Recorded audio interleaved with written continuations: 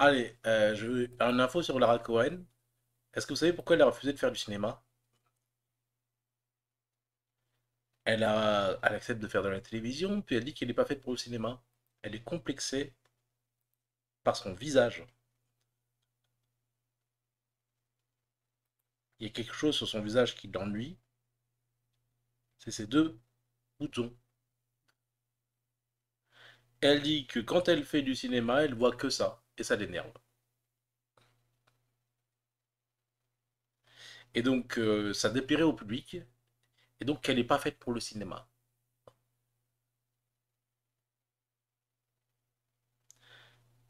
Elle les garde pour la télé et elle dit que c'est sa marque de fabrique. Est-ce que quelqu'un peut la raisonner? Merci. Allez, je vous fais la liste euh, des films d'horreur euh, dans lesquels j'aurais bien aimé voir Jeffrey Dean Morgan. Euh, il est venu me voir en me disant que son contrat s'était terminé, qu'il aurait aimé pouvoir avoir plus de films et il veut bien faire tous les films d'horreur que je lui propose. Au départ, sachez qu'il n'était pas pris pour Iron Man. Il est arrivé une minute après Robert Downey Jr. parce qu'il discutait avec sa femme. On a cru qu'il nous avait lâché et il aurait dû être Iron Man. D'accord? C'est lui qui avait été sélectionné en premier. Et la ponctualité, pour Sandy comme pour moi, c'est indispensable. Quelle que soit la raison. Il va arriver une minute après en disant que euh, était occupé à parler avec sa femme. Stanley va lui dire bah le problème c'est que si tu as d'autres priorités que nous, bah occupe-toi de tes priorités puis on verra ensuite.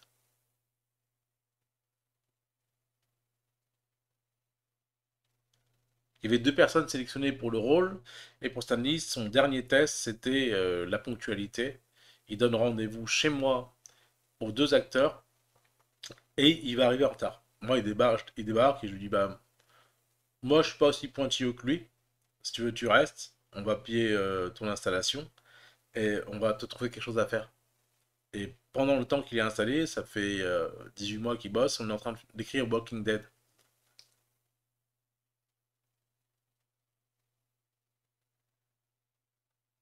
Ok. Et bon, bah voilà, du coup, euh, tout va bien. Euh, il a, il avait euh, cette tête-là, il aurait dû être, il aurait dû être Tony Stark.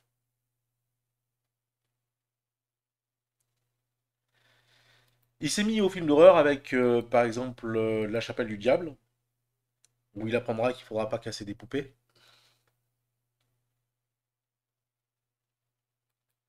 Plus d'être à l'heure. Et euh, donc, il euh, lui a été euh, signifié que son contrat se terminait.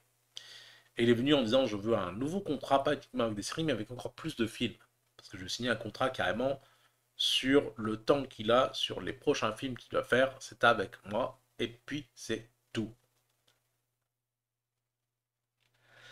Et donc il est venu me dire, euh, je veux pas bosser ailleurs, je veux pas bosser avec quelqu'un d'autre, et je veux euh, des films et le maximum de films d'horreur. Parce que ça a bien euh, fonctionné. Alors, j'ai reçu Stephen King avec qui j'ai fait Il est revenu. Stephen King il m'a dit il y a pas longtemps, tu peux reprendre tous mes films. Pourquoi?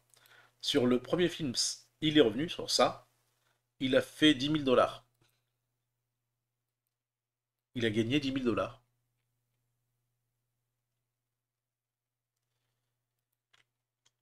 Quand euh, je vais lui dire, bah moi je veux bien en faire, euh, il est revenu, il me dit euh, combien tu me donnes? Je lui dis combien tu peux investir? Il dit pourquoi faudrait que j'investisse? Bah parce que moi le plus simple c'est ça. C'est quand tu veux gagner de l'argent, plus d'argent que tes 10 000 dollars, tu mets de l'argent, tu es investisseur, et euh, si je multiplie par 10, euh, tu touches 10 fois la somme que tu as investie. On dit d'accord. Et moi, ça m'oblige à. Ça m'impose. Ça me permet d'être sûr que ceux celles qui travaillent sur le projet, ils se mettent à fond. Dit d'accord, veux bien. On va mettre en tout 35 millions de dollars. Et on va multiplier par 20.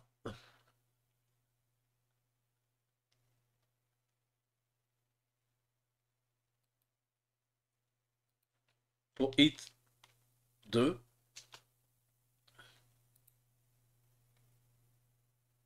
On est à 80 millions de dollars. On va pas multiplier par 20, on va multiplier à peine par 5, euh, 6.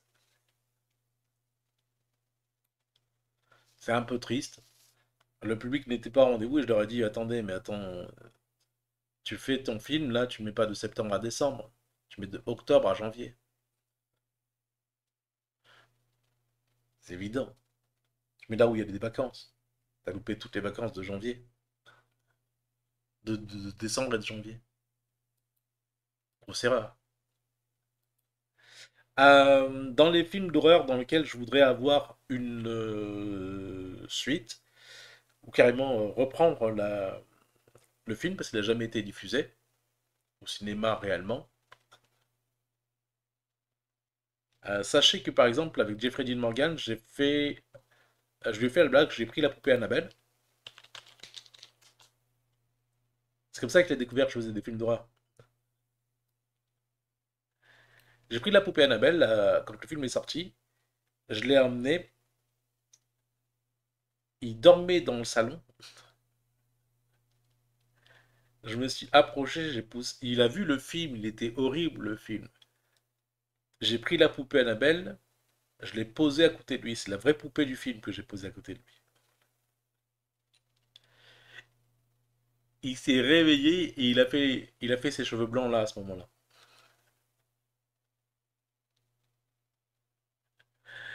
C'est là qu'une partie de sa barbe est devenue blanche.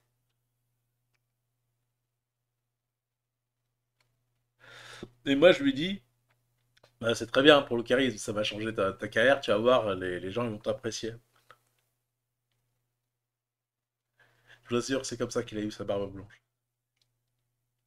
C'est arrivé d'un coup parce que j'ai posé la poupée Annabelle à côté de lui et il me dit il va dans le miroir, il va dans la salle de bain, il se regarde dans le miroir, il regarde sa barbe, il fait il y a quelque chose qui a changé, non?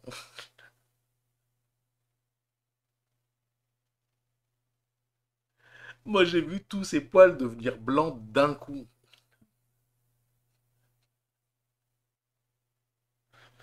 Parce qu'on se faisait le coup de je te fais peur avec les accessoires de films et de séries. Et lui, il a amené des accessoires de The Walking Dead, des vrais accessoires. Il dit, ben moi aussi, je peux jouer à ça. Et j'ai fait venir la poupée Annabelle, parce que je suis en train de faire la poupée Annabelle.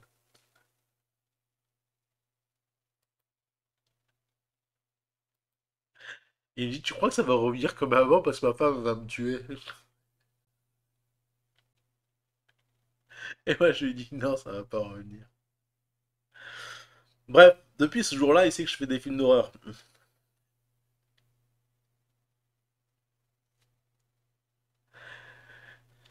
Et moi, bonne poire, bon bah je vais pas lui dire non après ce que je lui ai fait avec sa barbe, tu vois. Mais faut l'avoir vu ce jour-là. Sa barbe, elle est devenue blanche d'un coup. C'est du jour au lendemain, sa barbe, elle est devenue blanche parce que j'ai vraiment mis la poupée Annabelle. Il dormait sur le canapé, tu vois. donc je lui laissais le canapé. Il dormait sur le canapé. J'ai mis la poupée Annabelle à, côté de lui sur le canapé pendant qu'il dormait. Il se réveille. On vient de voir le film d'horreur. On vient de le voir, le film de la poupée Annabelle. il se réveille, il voit la poupée Annabelle à côté de lui. Et il a sursauté en hurlant. Il a fait un Et sa barbe est devenue blanche d'un coup. Donc, je lui ai proposé de jouer dans la suite de Annabelle. Il m'a dit, tu te fous de ma gueule, là.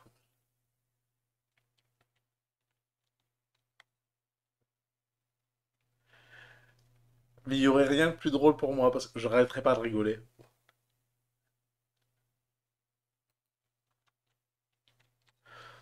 Il a dit, bah finalement, pourquoi pas Annabelle? Mais honnêtement, c'est méchant.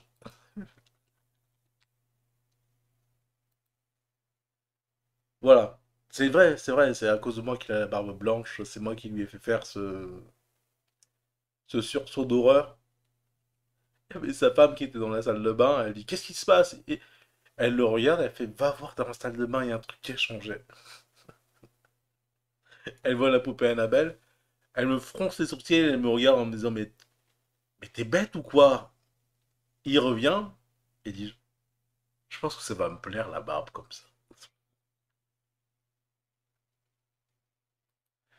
Et moi, j'ai passé, je crois, deux semaines à lui demander pardon, à lui et à sa femme, en disant je suis désolé, je suis désolé, mais ils m'ont amené des, attends, ils m'ont amené des corps de zombies de The Walking Dead qu'ils laissaient traîner dans le couloir des mécatroniques alors qu'il y avait des enfants.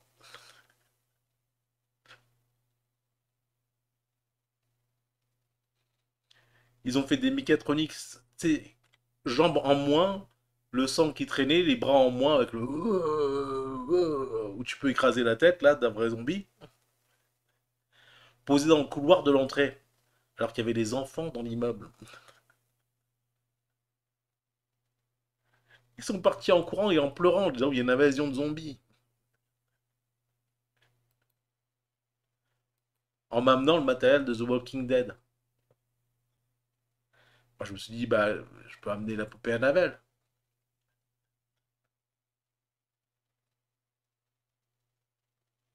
J'ai pas vu qu'il était fragile.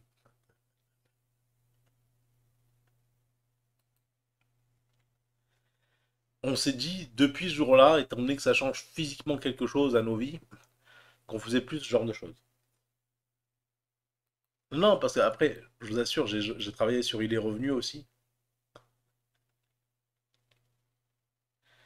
Moi, j'hésiterai pas. hein. J'ai travaillé aussi sur Amityville.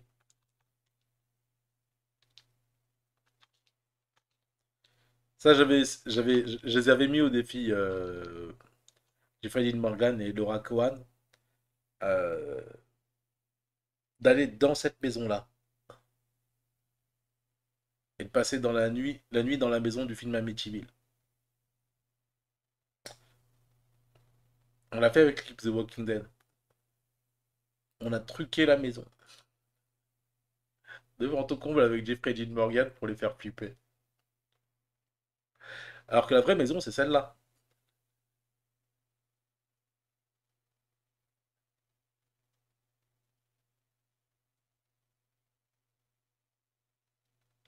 Voilà. La légende d'Amityville, euh, il y a 45 ans, la vraie maison, c'est cette maison-là. Cette maison-là, c'est celle du film.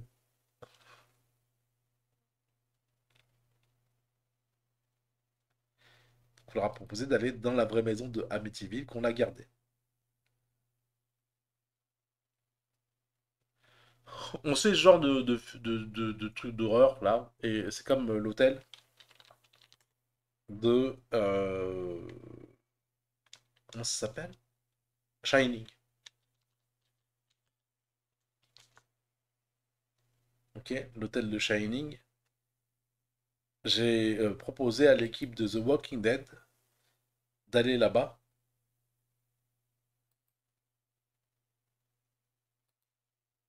pour euh, écrire la suite euh, et la fin de Walking Dead. On allait dans l'hôtel de Shining et euh, c'est à Lincoln Andrews que j'ai pas dit où on allait parce que lui il collait tous les scénarios, toutes les scènes de toutes les scènes, tous les lieux de tournage des films d'horreur. Tu lui montres une photo et tu dis ça c'est mais ça, c'est ça c'est euh, ça c'est Amityville. Mais là, c'est la maison de. Et là, on arrive là, et il connaît pas. Et moi, je suis étonné parce que normalement, il doit connaître, tu vois. Je lui dis, attends, il se fout de ma gueule. C'est pas possible. Et oh, on franchit les murs, ils ne connaissent pas les lieux. Ils voient la salle de bain avec euh, la scène de la salle de bain.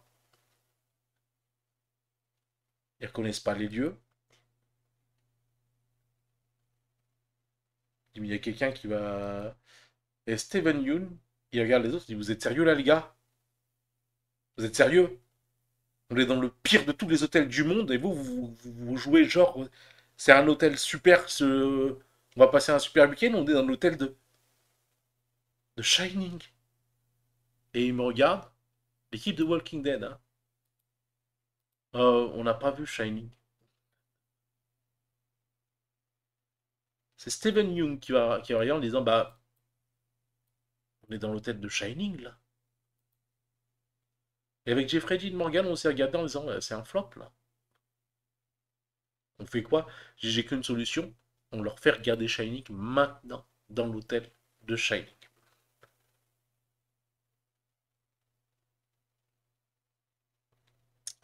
Et ça, je l'ai vécu.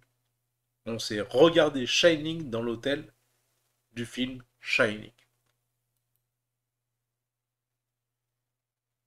Là, on allait au sommet de l'horreur pour se faire des blagues, et puis ça n'a même pas marché. On dit, bah maintenant qu'on a vu le film, on sait où on est, ça fait pas peur. Hein.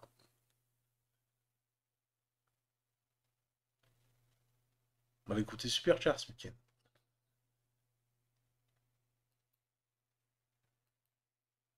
On aurait pu faire un film sur des gens qui visitent les lieux de tournage des films d'horreur. Il se passerait réellement quelque chose d'horrible, mais on n'y a pas pensé. Alors Stephen King m'a donné l'autorisation après il est revenu de faire tous les Stephen King que je veux. Et je veux faire le fléau en trois parties. Trois livres. Stephen Young, Stephen Young est venu me dire euh, si tu fais le fléau, c'est à nous, c'est obligatoire. On s'est fait un week-end réellement. En fait, on s'est fait un week-end film d'horreur. On s'en a fait plusieurs d'ailleurs.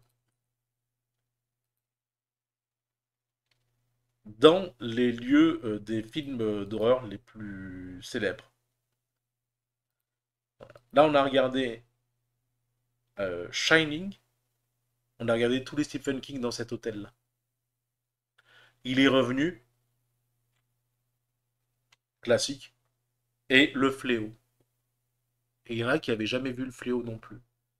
Ils ont tous vu Il est revenu, c'est facile. Shining, pas tous. Et le fléau, il y avait quasiment personne qui l'avait vu. Et donc, comme tu as des films de 4 heures, 8 heures, il y avait au moins 16 heures de vidéo à regarder dans euh, l'hôtel en question. Pour les fans d'horreur, les plus, les d'horreur, il y avait Stephen King avec nous, qui a dit si vous faites ça, je viens avec vous. Hein. S'il n'avait jamais fait, c'était un week-end d'horreur extraordinaire. Donc on a, fait le week-end de l'horreur. On l'a fait gagner d'ailleurs pour euh, gagner de l'argent. On a fait gagner des, des places pour euh, passer un week-end d'horreur avec nous. Et euh, ça s'est bien vendu aux États-Unis hein, par SMS. Ça s'est super bien vendu. On avait 10 millions de SMS, donc 10 millions de personnes qui envoyaient 2 dollars. donc ça fait 20 millions de dollars le week-end en bénéfice je dis à ce moment-là, on vous offre ce que vous voulez. On, a déguisé le. On a mis exactement tout ce qu'il y avait dans les films euh, d'horreur là-dedans. On l'a fait là et dans la maison à Amityville.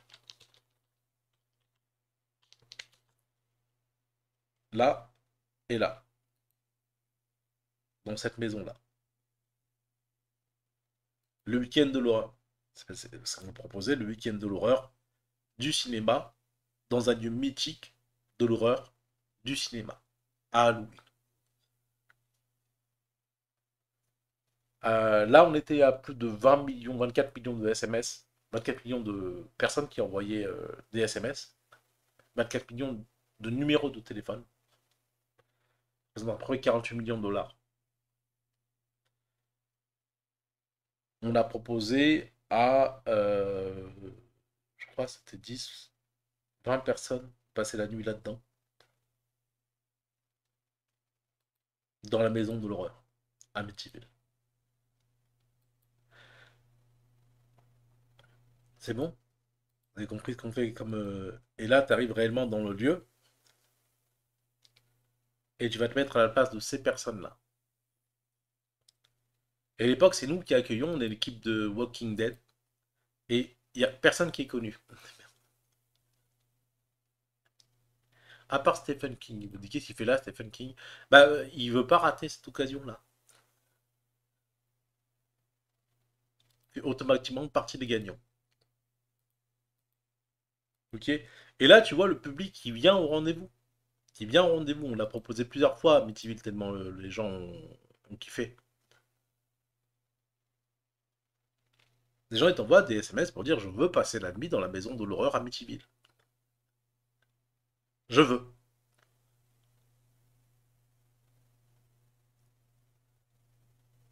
Ok Et euh, on passe le week-end à ce moment-là à regarder des films d'horreur. Et c'est normal. Donc ça, on l'a fait. Stephen King m'a donné l'autorisation de faire Il est revenu euh, parce qu'on était à quand même un, bon milliard en deux films. Et au lieu de gagner 10 000 dollars, il était investisseur quand même. Donc là, je veux le fléau. Et sur le même principe, peut être investisseur, ça va de soi. Le fléau est un roman de Stephen King qui est adapté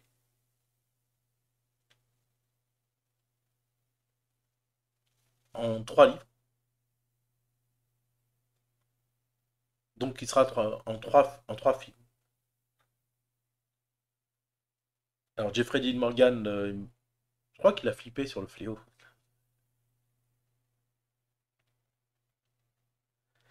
Et qu'il a du mal avec le fléau.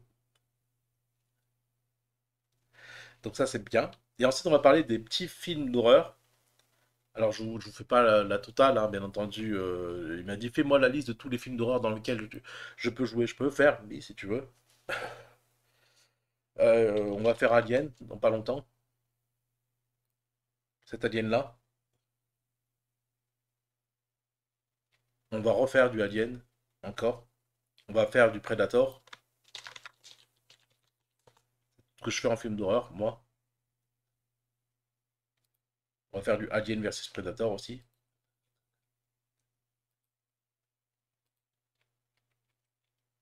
Et j'ai fait Jason X dans l'espace, hein, ça a marché.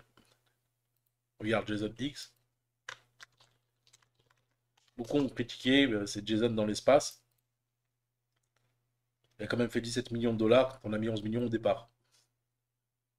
On a fait 6 millions de dollars de bénéfices. Moi, je dis, c'est quand même pas mal. C'est pour un film qui te coûte 11 milliards. Si 11 euh, millions, si tu rapportes 6 millions, bah, tu as quand même euh, un bon pourcentage de bénéfices.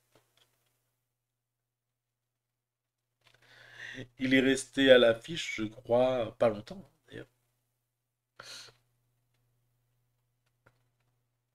Et il n'a même pas été diffusé aux États-Unis.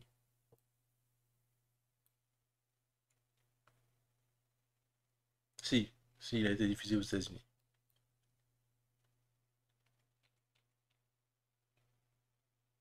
Si, si, moi, moi j'ai dit oui pour ça. Pour savoir si le public, on l'a fait réellement pour savoir si le public était, euh, captif. Euh, Freddy, je ferai pas non plus. Freddy versus Jason, c'est encore moi. Je dis bah alors on a fait 6 millions de dollars de bénéfices, ok on continue. 116 millions. Le public est venu au rendez-vous.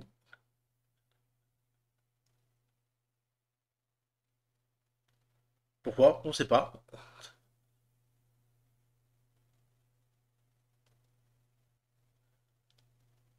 C'est Freddy versus Jason.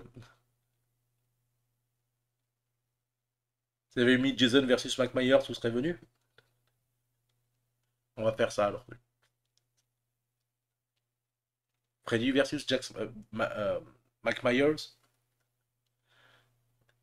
Oui, oui, oui, il serait venu. Il serait venu, bien entendu, le public. Pour voir un Freddy, il serait venu.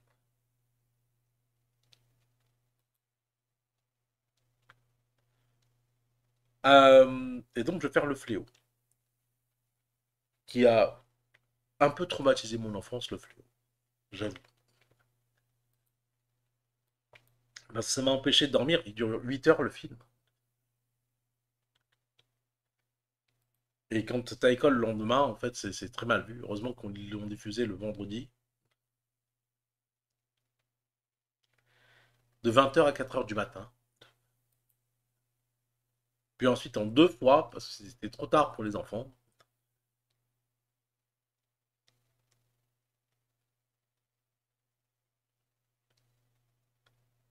Euh, donc ça c'est bon. Les films euh, petit budget à remake à racheter. Les remakes à racheter. Alors, The Farm. The Farm, je vous montre la bande-annonce.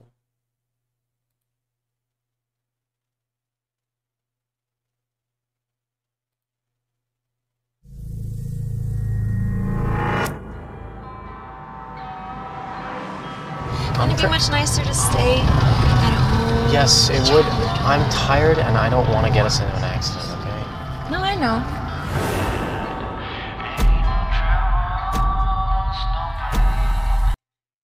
Alors en français, ce sera peut-être mieux.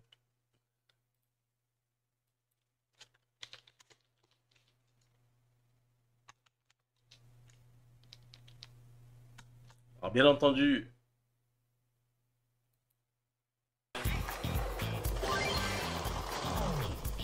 moi je veux le refaire, je veux le diffuser monde.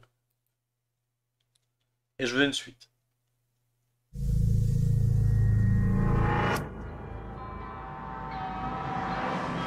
Euh, Ce serait pas plus sympa de rentrer à la maison Ouais, et ouais, mais je suis mort et je veux pas qu'on ait un accident, d'accord? Non, t'as raison.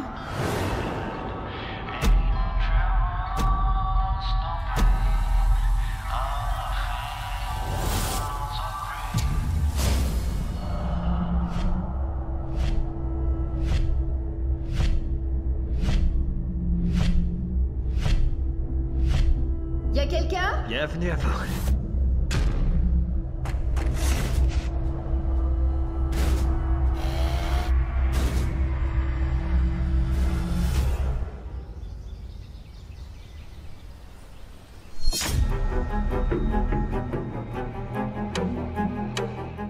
Qu'est-ce qui se passe ici? Tu veux pas savoir. Comment est-ce qu'on sort de là?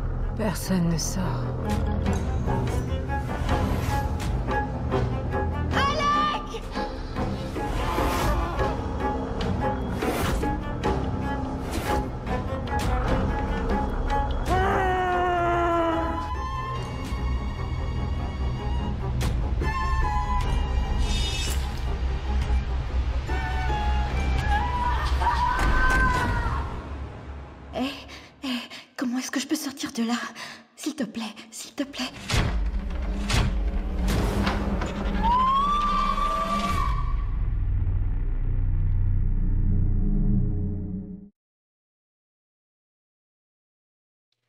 C'est The Farm.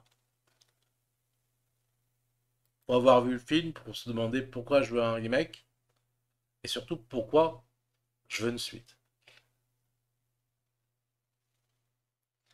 Euh, dans la liste des films d'horreur, où je me dis aussi mérite un remake ou simplement une suite, Jack House, qui est passé incognito au cinéma.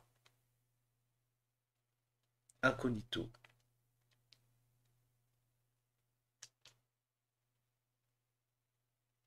Je vous montre la bande-annonce.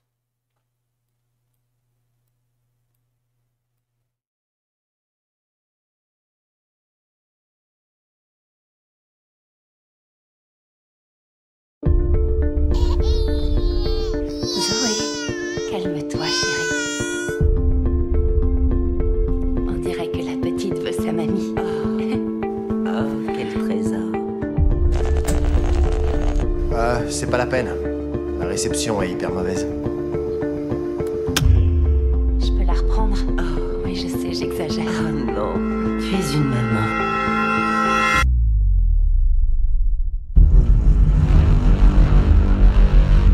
Il y a du bruit dehors. Hé C'est une propriété privée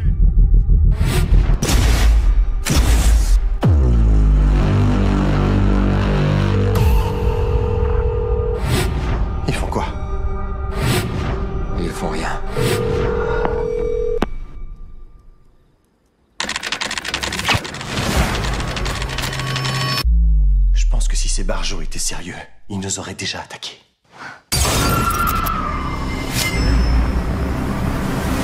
Regardez ces porcs, attendant le massacre bien tranquille. Qu'est-ce que tu as fait? Où est le bébé? Ça va aller, ma chérie. Avec mes frères et sœurs, on veut tous les bébés qu'on peut trouver. Ce sont eux l'avenir après tout. Ils jouent avec vous. Ils ne s'arrêteront pas. Allez, petit cochon, cochon, cochon, cochon, cochon, cochon, cochon, cochon N'aie pas peur. On va tous s'en sortir, je te le promets.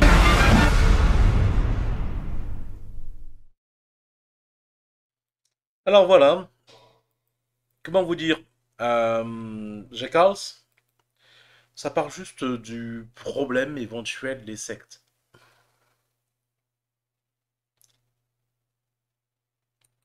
Ok. Euh, Maintenant, on va passer à Oh, petit film vietnamien qui se passe en Angleterre passé dans l'oubli. D'abord, c'est un film qui a été fait avec l'équipe euh, de euh, Dog Soldiers, qui est sorti en 2002. Moi, je parle de Dog Soldiers américains, ils me disent on sait pas ce que c'est. Dog Soldiers? Ah bah on va regarder Dog Soldiers. Alors vous l'avez en entier, bien entendu, sur euh, YouTube. C'est des indépendants qui n'ont jamais été rachetés, jamais été euh, remake. Et euh, le premier de tous les doublages de cinéma que je vais faire, c'est dans ce film. Et je vais faire le bruitage du monstre.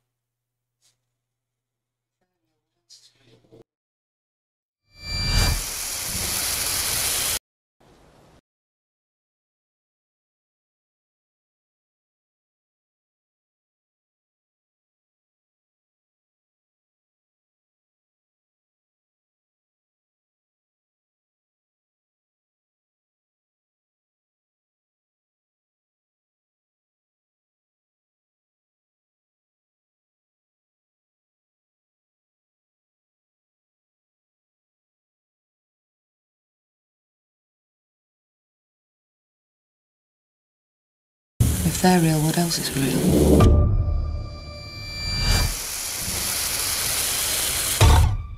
You may never get another night's sleep as long as you live. Now, as of this moment, as far as we're concerned, we are 50k behind enemy lines. Now, expect nothing less than gratuitous violence from the lot of you.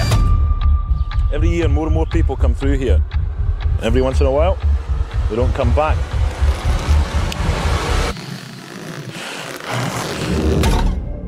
Captain? You've got to get me out of here. Looks like they got hit hard and fast. Every magazine is full. From here on in, the exercise is over. Exactly what is it we're fighting against? Lycanthropes. That's werewolves to you and me. You came here because of them, right? This was supposed to be a routine training exercise, and that's all. Trick to survival that lies not in running and hiding. Salvage whatever weapons you can find and stand to. Shut down the generator. Why would they do that? Because they can see in the dark. And you're afraid of it. There was only supposed to be one! You tore them to pieces in front of my eyes! Honestly, what are our chances? So, if little Red Riding Hood should show up with a bazooka and a bad attitude, I expect you to chin the bitch. You're bloody loving this, aren't you?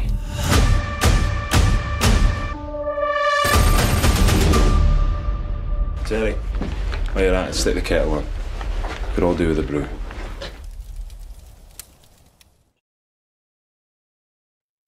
Ok, bah, film sorti euh, simplement dans tellement peu de salles qu'il n'a pas été connu. Il n'est même pas sorti aux États-Unis.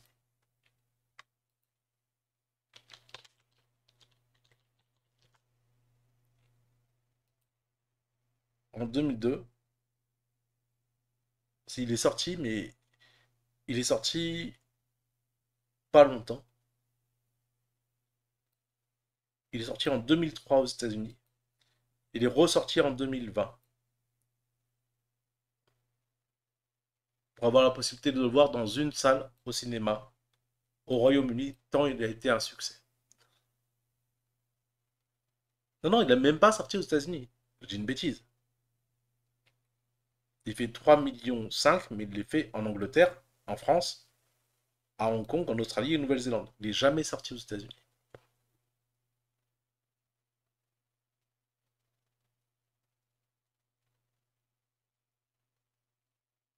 C'est un film en anglais. C'est fait avec des Irlandais qui sont partis vivre au Vietnam. Quelques années plus tard, ils viennent me voir en me disant on voudrait faire un nouveau film d'horreur. Oh. Le chef militaire qui a dans le film Dog Soldier, c'est un acteur qui a ouvert son école de cinéma. Et il propose à ses élèves de faire un film d'horreur avec lui, en disant euh, c'est quand même l'un des meilleurs. Et je confirme. hein. Et ce film, il est juste jamais sorti au cinéma. «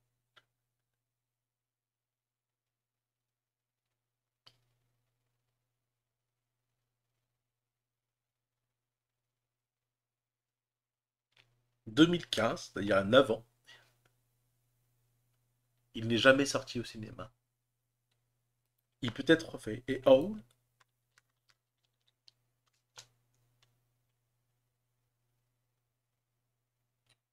Howl, c'est ça.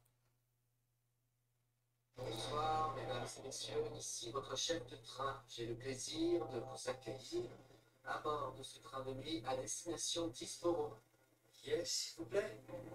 Pour pas venir à ma séance photo de demain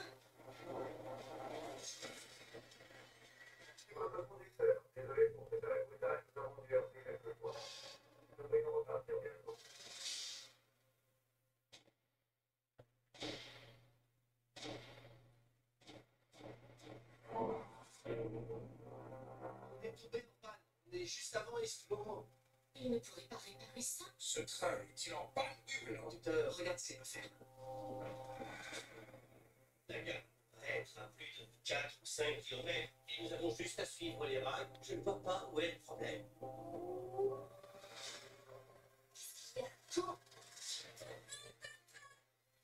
Ça roule Montez Allez, allez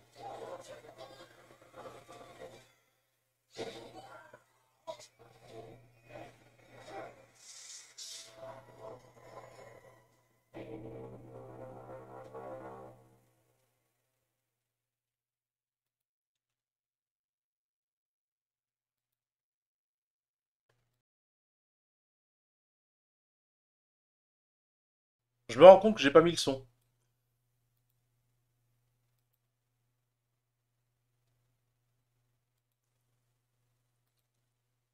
Bonsoir, mesdames et messieurs. Bon, vous regarderez de vous-même. Ici votre chef de train. J'ai le plaisir de vous accueillir à bord de ce train de nuit à destination Disboro. Yes, s'il vous plaît. Peut-être que tu pourras venir à ma séance photo de demain Ici votre conducteur. Désolé pour cet arrêt brutal, nous avons dû heurter quelque chose. Nous devrions repartir bientôt.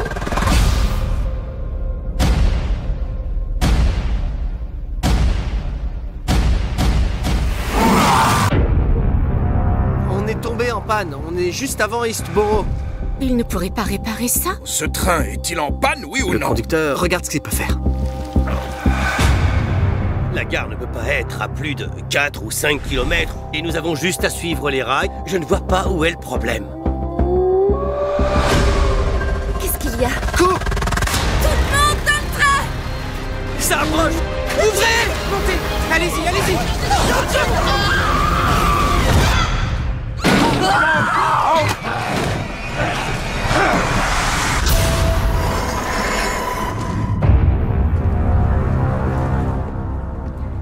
c'est mieux quand on a mis le son, hein. Alors du coup, voilà, ça c'est Howl les Ghost Soldiers. Je pense que ça mérite un remake euh, dans le style euh, loup-garou. Euh, je crois qu'il n'y a pas de meilleur réalisateur que cela. si on cite Romero pour le film de zombies, moi je cite Howl et Dog Soldiers pour le film de loup-garou, je suis désolé. Le reste, ça me paraît tellement insignifiant à côté de ce qu'ils ont pu réaliser que. Mais insignifiant. Tu vas me dire, euh, ouais, mais euh, on a euh, des loups-garous qui sont mieux faits dans Underworld. Underworld, c'est un film grand public où on s'est dit, attention, on va essayer de pas faire peur aux gens. Là, il n'y a pas de budget, il n'y a pas de moyens. Et tout est fait pour terrifier les gens.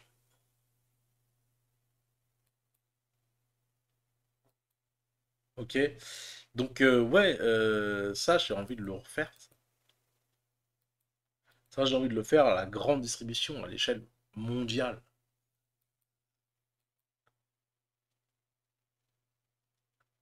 Ok Alors, si vous les avez pas, Howl,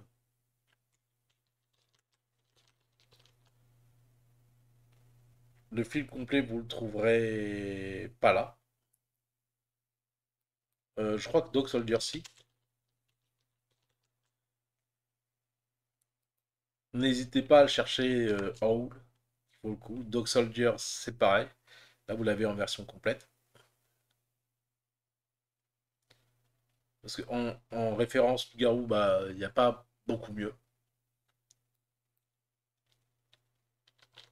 Oh, le reste un bijou. Dans le monde des vampires, je crois qu'on en a trop fait. Alors, il y a 5 ans, les gens étaient déjà, étaient déjà en train de fantasmer sur une suite de Howl.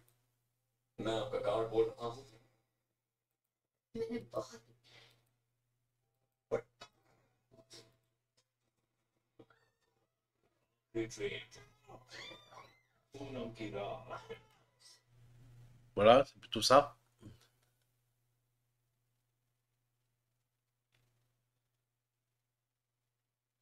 Qu'est-ce que je peux vous dire? À part, si vous l'avez pas vu, vous avez raté quelque chose.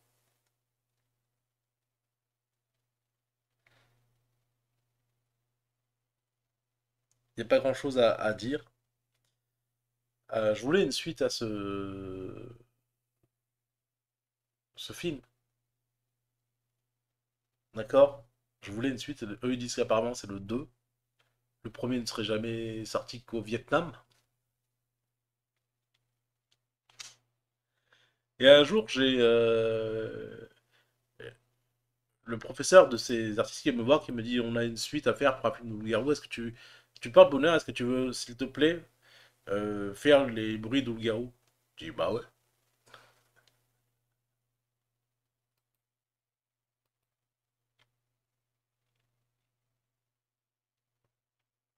Et euh, bon, c'est malheureusement un des maîtres du loup-garou qui ne mettra pas les pieds aux États-Unis parce qu'il a fondé sa famille en Asie et qu'il ne rentrera pas ni en Angleterre ni ailleurs. Il ne quittera rien. Quand il a fait Dog Soldier, c'est le dernier film que je fais. Après, je vais voir, euh, je vais m'installer avec ma femme en Asie.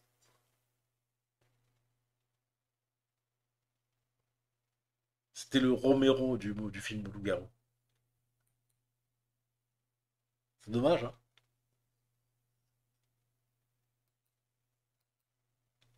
attendu 13 ans pour nous faire une suite?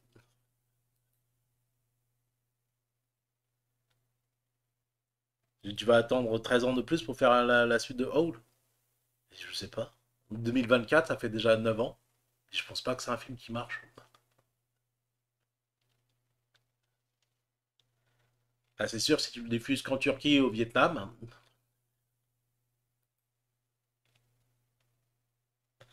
Au Royaume-Uni en France, il n'y a pas un Américain qui va le voir. hein.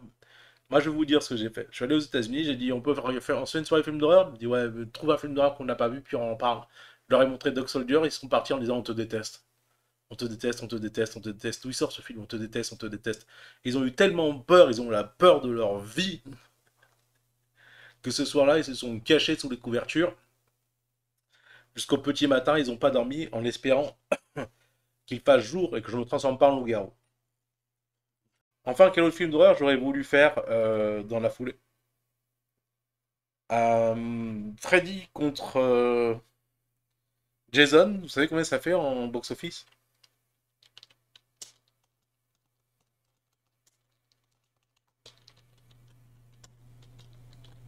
Alors j'avais dit moi pour faire la série Freddy tant qu'elle est euh, qu'elle est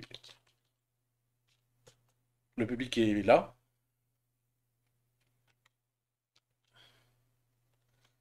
En 2003, on a fait Freddy vs Jason. 116 millions de dollars pour 30 millions d'investissement.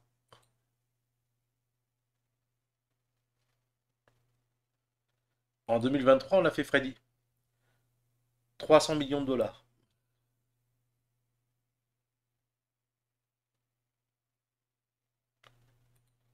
Freddy est le cauchemar des gens avec un autre dont les uns et les autres parlent. Les gens, ils aiment bien revoir leurs cauchemars quand ils sont euh, de quand ils étaient petits. Alors Freddy est mort, 34 millions de dollars. C'est la nostalgie de l'horreur. On appelle ça la nostalgie de l'horreur. En se disant, non, que je suis grand, j'aurais pas peur.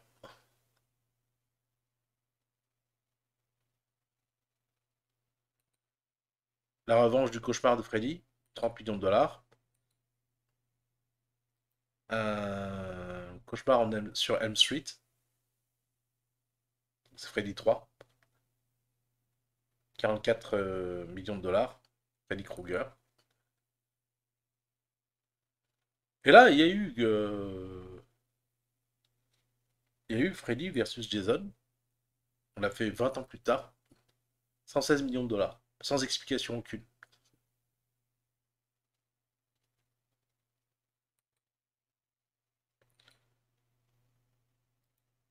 Cinq nuits chez Freddy.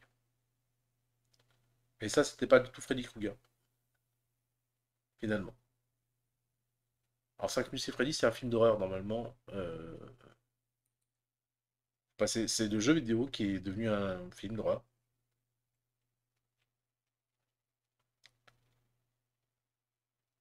Et donc, euh, bah, notre Freddy versus euh, Jason, ça a été le meilleur finalement. Et on n'a pas fait Freddy versus euh, Mac Myers.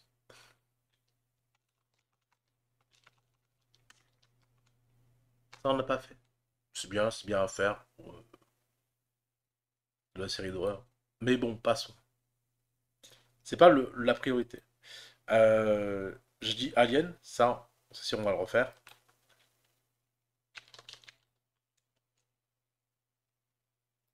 Alien, on va travailler dessus. On est sur. euh, ça se passera dans l'espace. Sur du film d'horreur.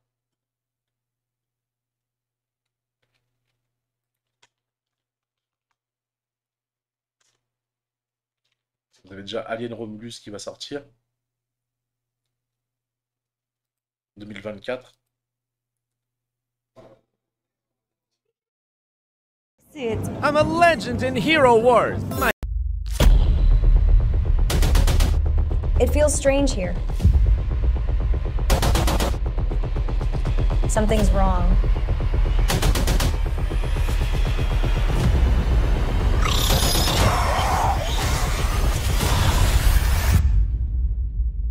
Like we have an intruder with us. I think we found an alien life form on our ship. What a creature.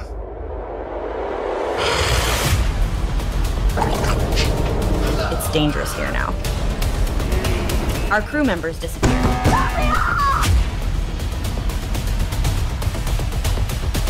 If we don't find it before it finds us, we will all be dead. You never know where it is. So we have to be careful. I have a plan.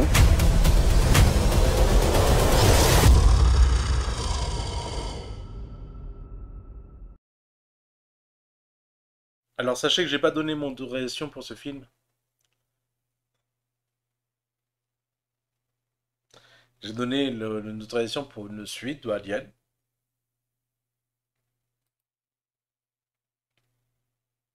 Euh... Mais j'ai pas donné mon autorisation pour ce film-là précisément.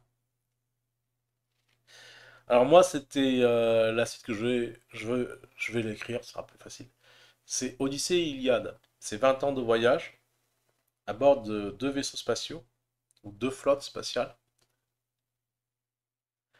à la recherche de planètes euh, nouvellement habitables. Et l'Iliade va s'arrêter sur une planète bien connue, où les aliens se sont installés. Avant de repartir, en ayant juste euh, relevé qu'une forme de vie humaine s'était installée là et avait disparu.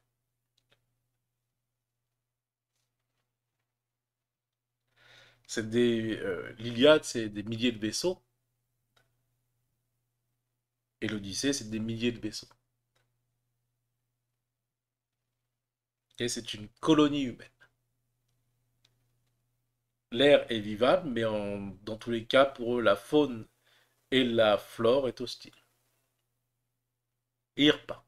Et ils repartent comme ça de planète en planète. Et ils se posent de temps en temps. Le but, c'était d'en faire une série.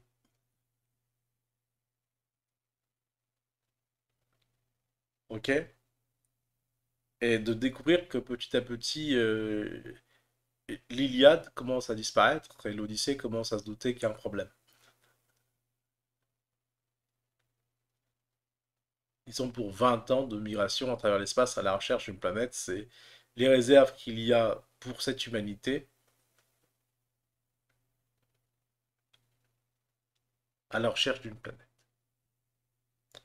À bord de euh, l'Iliade et de l'Odyssée. Ok? C'est bon? Ça, je voulais faire. C'était plutôt une série. Et euh, arrivé au moment où euh, bah, ces petites bébêtes-là, on va leur redonner une vie. Mais pour longtemps, quoi. On va leur refaire. Pas des dessins animés pour enfants, je vous rassure. On va leur faire une santé. Ok, et euh, l'autre euh, série de films que je voulais euh, reload, c'est bien entendu Resident Evil. On peut faire... euh, C'était l'île que je voulais faire, l'île de Resident Evil, j'en ai parlé.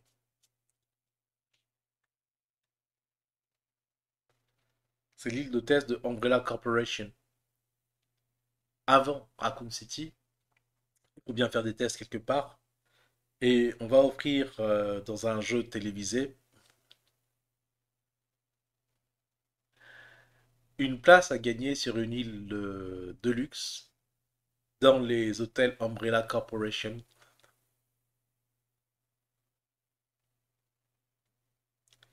Un séjour tout offert.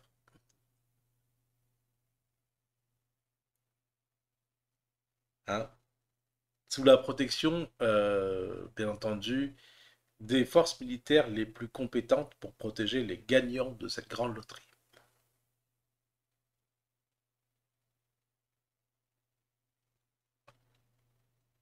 C'est là qu'on va retrouver normalement Claire et Léon. Jill et Léon. Jill, Claire et Léon. Qui connaissent Umbrella pour autre chose. Enfin, ceux qui l'ont pas découvert à Raccoon City.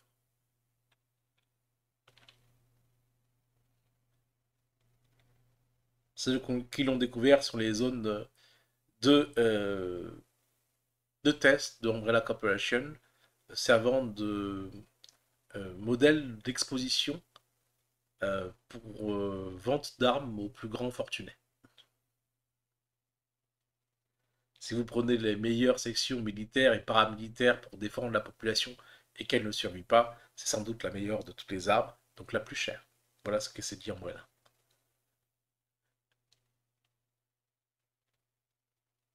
Ah bah si on l'a pas, on n'explique pas la fortune de Umbrella Corporation. Il faut qu'ils aient fait fortune d'une manière ou d'une autre.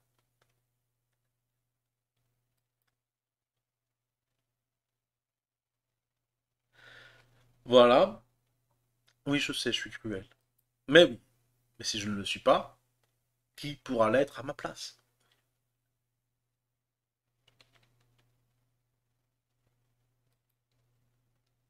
Z, j'ai pas fait fortune en faisant des films de, poupées. Hein.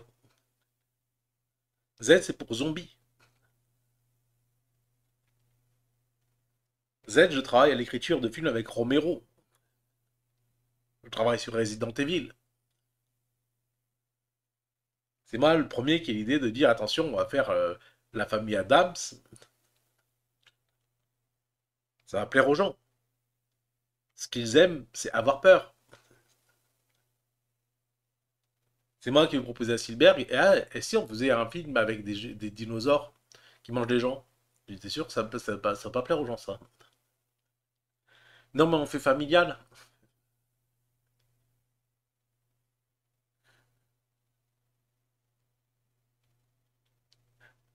Lui, il a dit oui.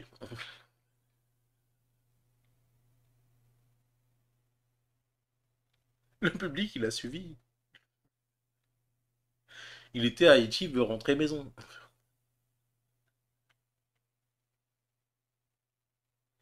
Après Indiana Jones et Star Wars. Quand même, euh, on a dit, c'était un peu loin quand même. Tu vois, il n'y a pas genre. euh, Il n'y a personne qui mange les gens. Dans aucun de ces films, normalement. Je dis, c'est pas mon style.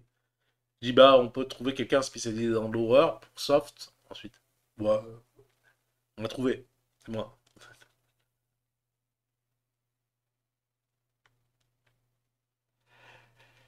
Euh, tu vois, je te propose, genre, euh, quand tu arrives en disant on va faire Il est revenu la suite, c'est ben, si, ça, vient de ma suite, enfin, le remake, ça vient de moi. C'est-à-dire, moi, s'il m'a fait trop peur quand j'étais enfant, tous les autres me disent, ah ouais, il est horrible ce film. Ah, on va faire un rigolo. Quoi?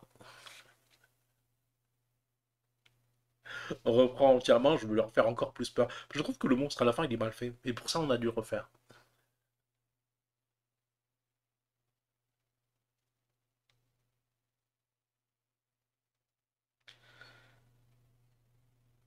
C'est c'est pour ça. C'est vrai. C'est- En plus, il est jamais sorti au cinéma. Ça se trouve, il y a plein de gens qui l'ont pas vu.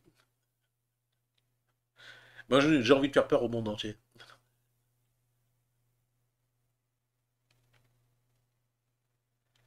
J'ai le pape qui est venu qui me dit pourquoi est-ce que le, le monde il obéit à un prince qui fait peur aux gens depuis 30 ans? C'est Z, je fais des films de zombies. Ah, je fais des films d'horreur. Faut les avoir vus. Quand je décide de faire- refaire Amityville, je fais Amityville. Quand je dis attention, je voudrais Conjuring. L'histoire des, Warren. Non, non, l'histoire des Warren, ça m'a flipper parce que je les ai vus hospitalisés. Réellement, dans la vraie vie. Euh, L'histoire aussi de, de Amityville. On n'a pas des exorcismes qui font peur.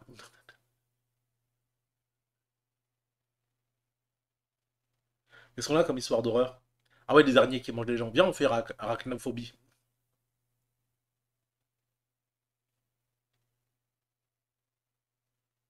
Vous avez peur de quoi les gens? Des serpents? Viens, on fait Anaconda. Bah j'espère, ça fait plus de 30 ans que je fais peur aux gens.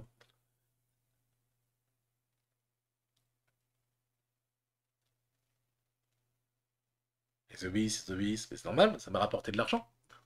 Au bout d'un moment, c'est moi qui paye les salaires.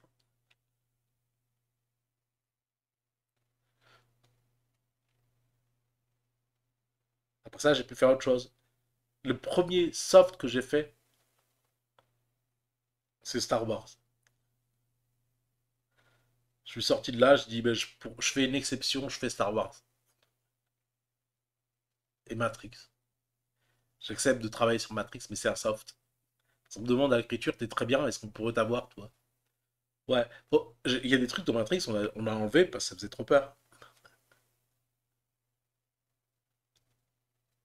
Je vous assure que c'est vrai, dans l'écriture, on a enlevé parce que ça faisait trop peur. J'ai les gars, peut pas enlever, c'est pas un film d'horreur. Ah bon?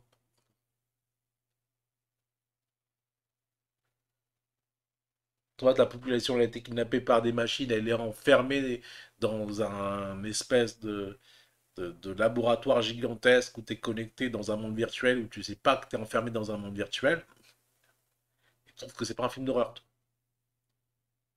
Les frères Wachowski à l'époque, qui étaient les frères Wachowski, qui sont devenus les sœurs Wachowski, me disaient Ah ouais, vu comme ça,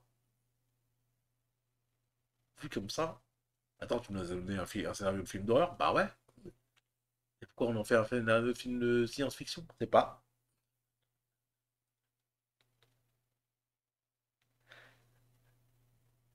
On sait pas. Aucune idée de pourquoi on a fait ça. Pour beaucoup, Matrix, au départ, ça ressemble à un film d'horreur plus qu'autre chose.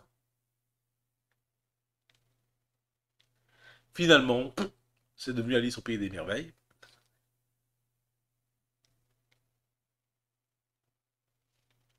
D'accord, les gars. Très bien. Bien sûr que les, Wachowski, pour éviter euh, que ça devienne de l'horreur, ils étaient obligés de faire des pauses. En disant, non, on veut un truc plus light, plus lumineux. Vous envoyer des armées de, de, machines. Ouais, ouais, si tu veux. D'accord. Harry Potter, au bout d'un moment. Bah ouais. Moi, j'ai des gens qui me disent non, ça devient de l'horreur. Non, non, ça devient de l'horreur. Les deux derniers films, les gens m'ont dit c'est des films d'horreur. Attends, je vais venir le grand méchant. Si t'as pas peur à ce moment-là, quand?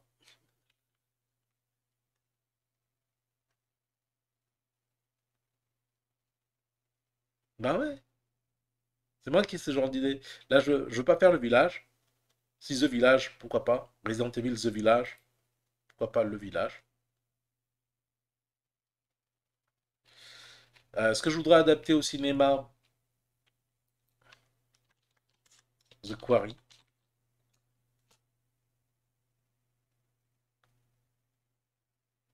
Until Dawn.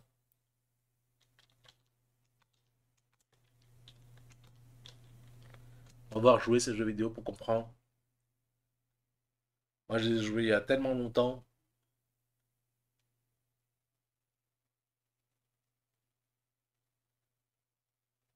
Et après, je suis tellement logique.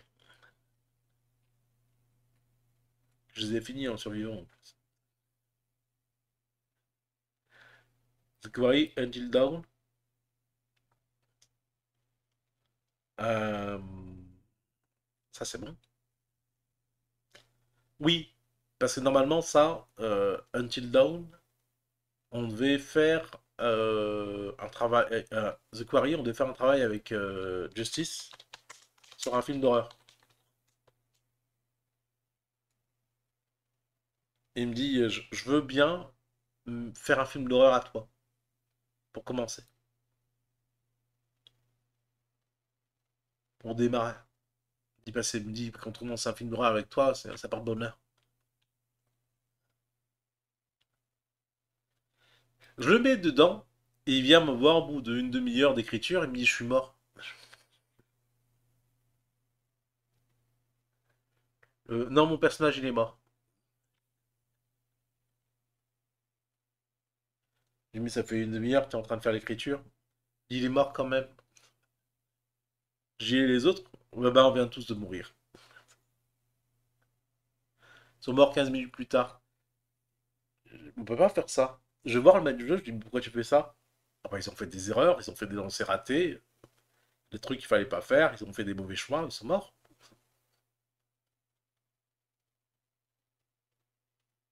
Et bien avec ça, on fait pas un film. Il dit, bah si, mais c'est un film court. Je lis les pages, je dis, regarde, même le temps de lire les pages, ça prend 3 minutes. Pour chacune des pages que je, que je prends, là, si je prends une minute, quand je fais une page, au maximum, je fais 10 minutes de film dessus. T'as une demi-heure, c'est même pas la moitié d'un film. Tu recommences. Je peux pas recommencer, j'ai pas d'autre idée. Ils connaissent déjà la suite. Il dit, bah, on va faire autrement. Tu continues, tu reprends depuis le départ. Ce qu'ils ont fait là, tu le considères pas comme étant perdu. Hein et on va faire des, des euh, suites alternatives. J'ai même mettre du jeu qui était nul. Hein.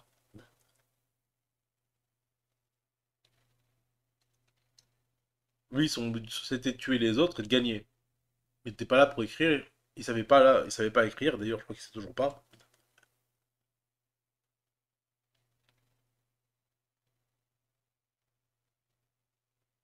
Et euh, bah, du coup, euh, il se retrouve euh, à tuer tous les joueurs. Je dis d'accord, très bien. On recommence. Tu les tues plus de la même manière maintenant. Si tu retombes sur le même scénario, tu les tues plus de la même manière.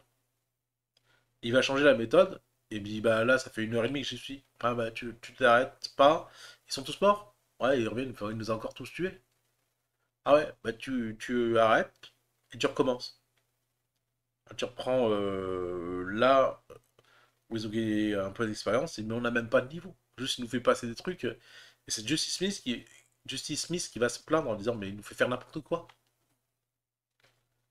Je vais prendre moi la suite. J'ai viré le maître du jeu en question. J'ai pris la suite. J'ai dit Bon, combien de fois vous êtes mort? Et j'explique le principe des, des, lignes parallèles en disant bah, On va en faire un jeu vidéo. C'est pas grave.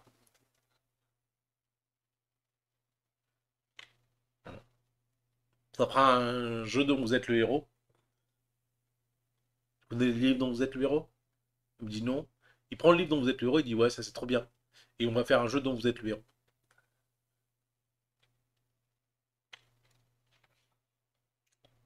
Euh, et donc on va faire ça sur The Quarry. Et c'est le truc qui va prendre le plus de temps. Parce que Justice Smith il va avoir besoin d'une pause. Question de santé.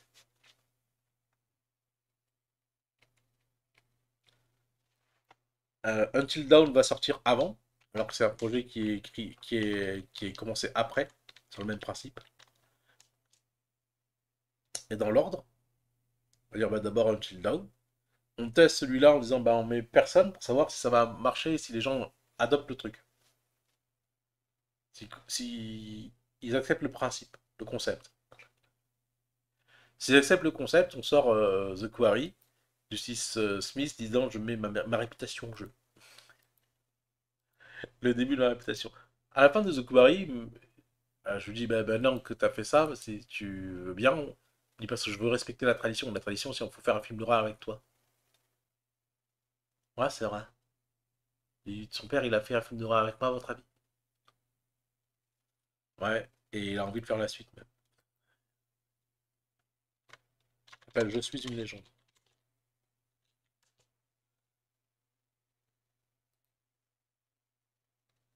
Au départ, il part faire ses films sans moi. Je dis d'accord. Et puis, euh, par contre, j'en ai marre des mauvais contrats. Et je dis, ben, je te propose euh, un scénario.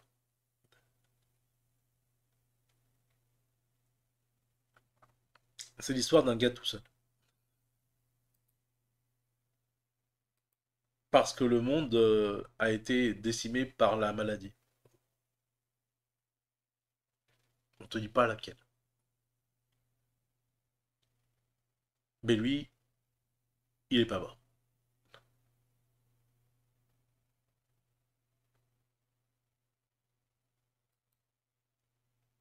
Et il me dit, moi, ça vient d'où ça? Je me dis, je lui dis, je me dis que si jamais je mets pas mon vaccin, que la maladie vraiment elle touche le monde, je vais me retrouver vraiment tout seul comme ça.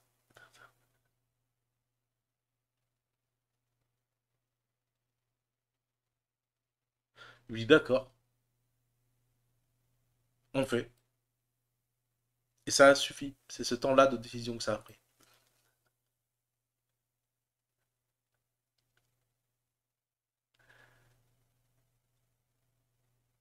Il vient, il m'observe, il regarde ce que je fais, il regarde comment je me comporte.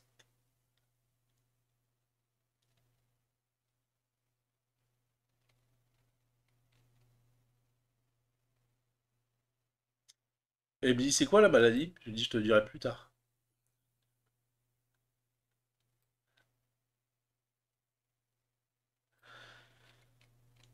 Je lui dis, tu veux faire la suite? Il me dit pas trop. Je veux faire autre chose maintenant. J'ai fait mon film d'horreur. C'est bon.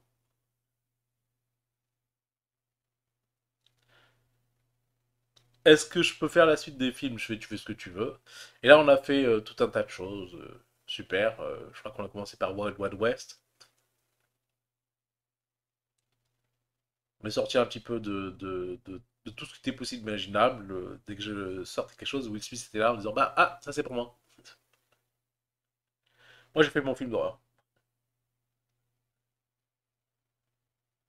Moi, la tradition, normalement, c'est la vraie tradition, c'est si tu veux commencer, tu commences chez moi par un film d'horreur. Et il y a des gens qui viennent chez moi que pour faire des films d'horreur, mais je veux pas faire le reste. Jeffrey Dean Morgan, il est comme ça.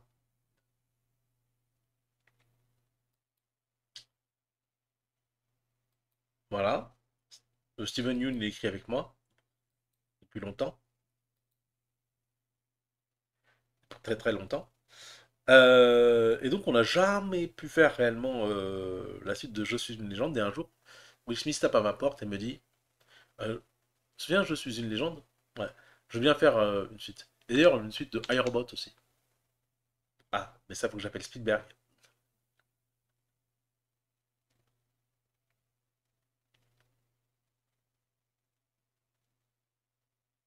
Euh, ok, très bien. On avait déjà écrit les pitchs, je les avais déjà mis au cas, j'avais déjà tout transmis, on avait tout, tout, tout préparé pour une suite. Et euh, Will Smith me dit les films à suite, c'est pas pour moi.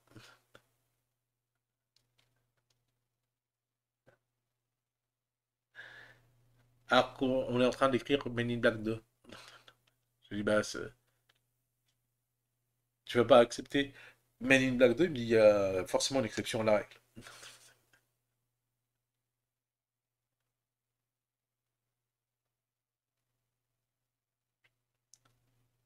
D'accord.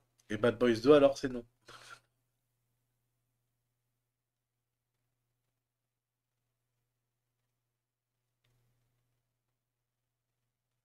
Et là, il a demandé une suite à Aladdin.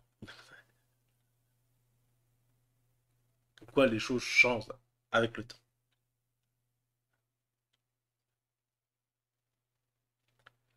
Bien. Euh, donc, euh, dans Je suis une légende, ce serait quand même bien de mettre une suite. Bah oui, il a transmis euh, son remède là. Et maintenant, qu'est-ce qu'il en fait le monde? Est-ce que ça veut dire pour autant qu'il va survivre? Est-ce que celui qui a reçu le remède, il peut survivre?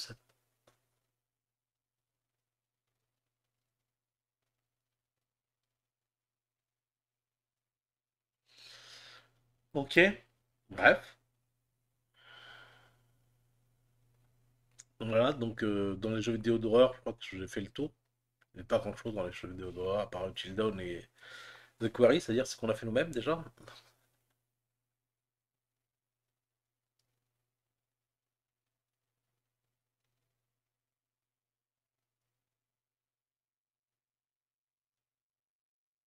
Dire qui- qu'est-ce qui mérite d'être transformé en film, on sait pas.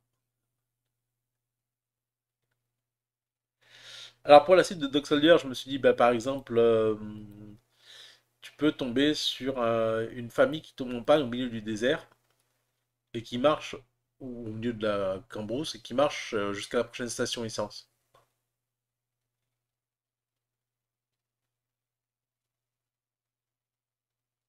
D'accord?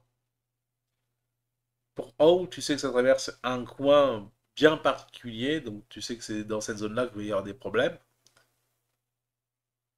Et on n'a jamais su où vivaient les loups-garous.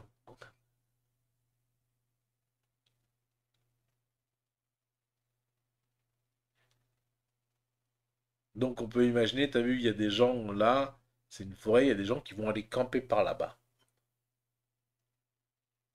Si, si, si, si, t'as des gens qui vont faire un peu de survivalisme là-bas.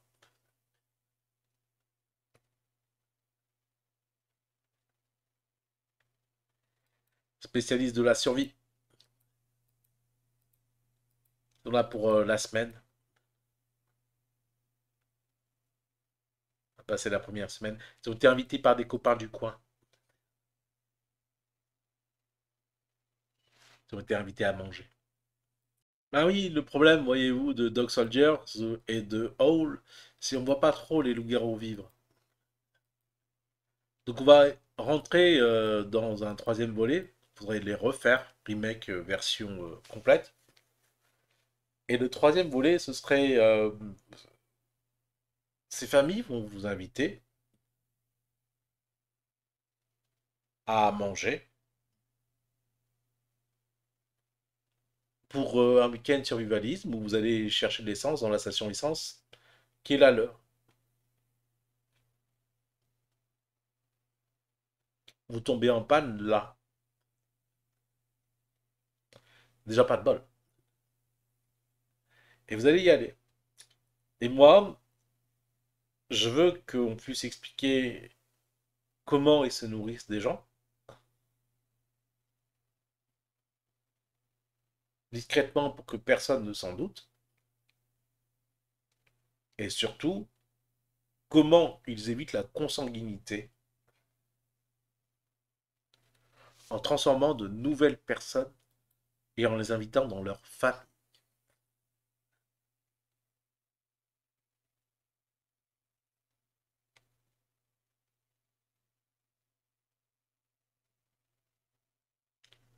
Hein?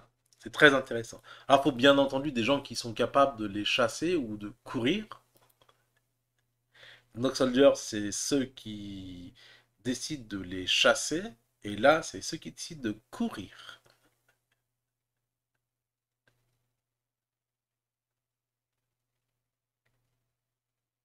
Ok? Euh, Parce qu'il y a un truc commun, c'est on n'a jamais leur visage avant transformation. C'est important. On ne sait pas combien ils sont. On ne sait pas si c'est une maison, on ne sait pas si c'est un village. On ne sait pas si c'est une famille ou si c'est plusieurs dynasties.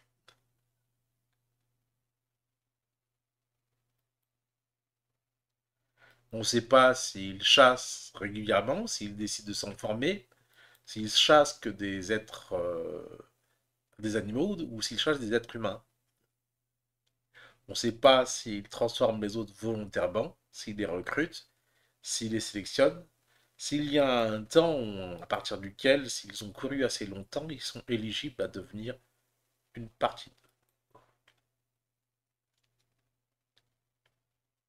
On ne sait pas s'ils créent les balles en argent. On n'a jamais vu.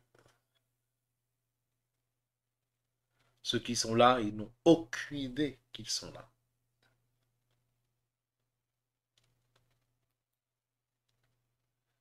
On ne sait pas s'ils craignent les crucifix, rien de tout ça. Ok Juste, ils sont là. Et c'est le truc le plus dangereux qu'il y a là. Et personne n'est prêt à les rencontrer. Alors, on va dire qu'ils vous ont invité pour un week-end. On va dire que vous êtes euh, tombé en panne pas loin de leur station essence. On va dire que vous avez décidé de faire un peu de survivalisme avec leurs enfants. On va, on dire, si, si, ben oui. Comment vous fouilleriez là-bas? Comment ils se nourrissent sinon?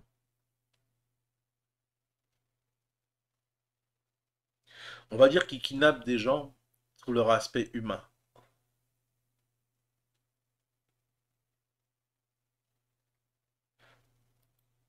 Qui les enferment dans la cage avec eux une fois par mois. Trois nuits. Avant la pleine lune, pendant la pleine lune et après la pleine lune. Et que c'est comme ça qu'ils se nourrissent ou finissent par recruter un nouveau monde. On va dire qu'ils vont kidnapper des gens sous leur forme humaine.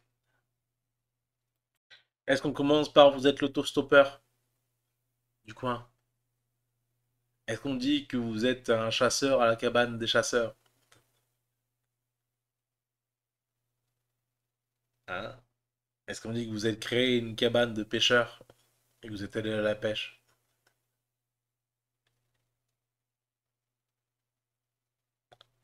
Est-ce que par hasard, euh, on va dire, euh, vous êtes allé à la montagne pour faire du ski et, euh, et aux premières neiges, avant que les touristes ne soient présents, profitez de votre chalet, tout nouvellement acheté, avant qu'il y ait trop de monde, alors que vous avez droit aux premières pistes enneigées, seul, avec vos amis. Et s'ils ne sont loups-garous que trois nuits tous les 28 jours, que font-ils les 25 autres jours? C'est ça la question. Que font-ils? Moi, je propose de le découvrir à travers un, une autre version de l'horreur. Comment se font-ils de nouveaux amis? Et se nourrissent-ils? Alors, la vraie réponse de pourquoi dans Dog Soldiers, dans Hall, on voit jamais les loups-garous humains, c'est parce qu'on n'a pas d'autres acteurs. Il n'y a pas d'autres visages disponibles. Il n'y a pas d'autres acteurs. Maintenant, Justice Smith m'a demandé euh, un autre scénario comme The Quarry et euh, Until Dawn. Alors, on a fait les Wendigo, les, euh, apparemment les loups-garous. Il reste le Yeti. Le. Comment on dit? Squall Quash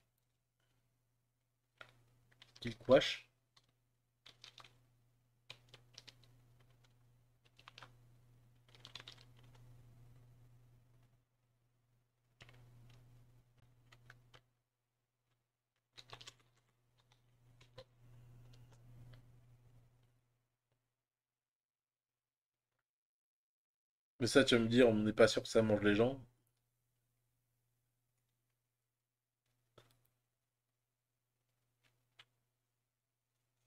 Ensuite, euh, parmi les animaux, euh, les êtres euh,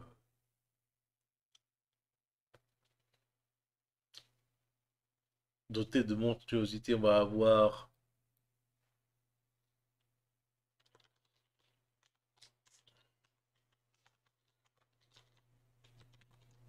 Des chamans animistes, comme on appelle ça?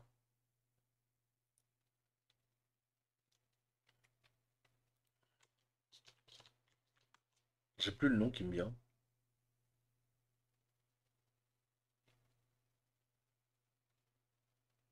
Allez, après, euh, euh, c'est Justin euh, Smith qui m'a demandé une suite à Until Dawn et à The Query, en me demandant en quoi un, être humain peut se transformer. Alors, ça s'appelle la thérianthropie, ou zoanthropie. C'est la transformation d'un être humain en animal de façon complète ou partielle, aussi bien que la transformation inverse dans le cadre mythologique et spirituel concerné. C'est un être humain qui se transforme en animal. C'est un thérianthrope qui existe depuis la mythologie grecque.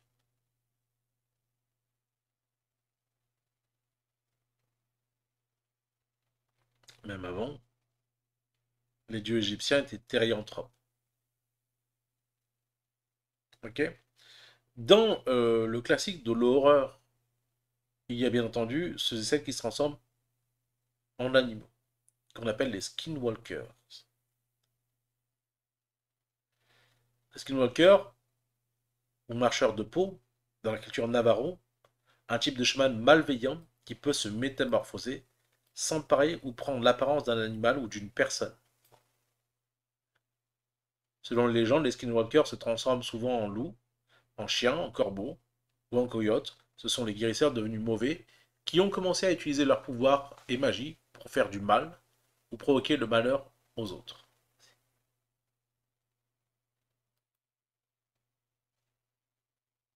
Skinwalker est intéressant parce que justement, l'intérêt de Until Dawn, comme l'intérêt de euh, The Quarry, c'est qu'on ne sait pas qui est le méchant. Et on ne sait pas qui est devenu méchant ou pas.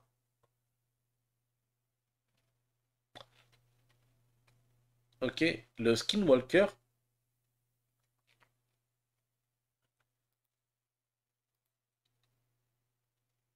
Donc si on cherche l'image, correspond parfaitement au, au profil aussi du méchant qu'on peut craindre.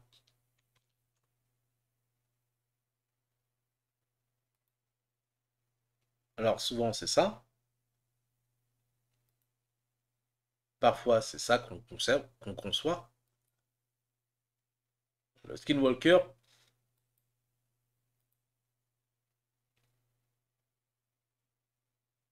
On ne sait pas réellement ce que les uns et les autres entendent par skinwalker.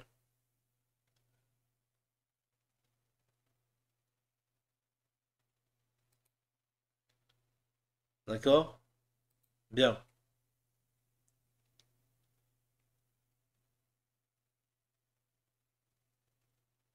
Donc toujours à envisager le skinwalker.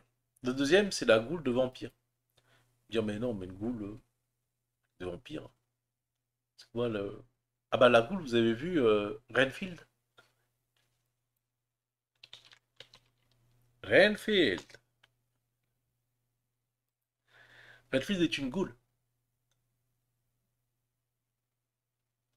Son objectif, c'est de ramener la nourriture à, Dracula. Donc la goule.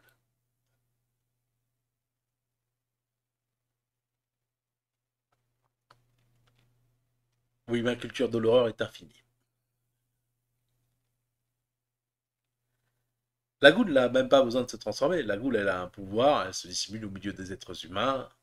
Elle ne craint rien, elle est indécelable, à part qu'elle mange des insectes.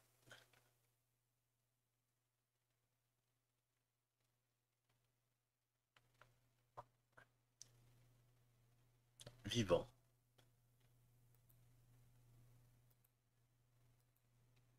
D'accord? Euh, C'est pour ça que j'ai dit, bah, faudrait des vampires. Mais non, mais des vampires, on, on va pas mettre des vampires au milieu. Tu fais bouffer par un vampire, c'est fini.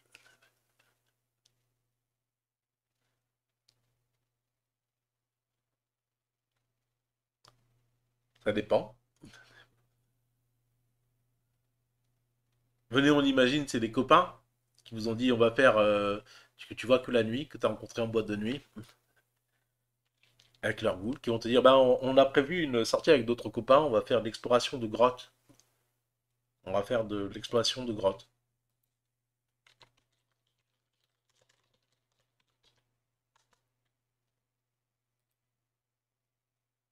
On va faire de la spéléo.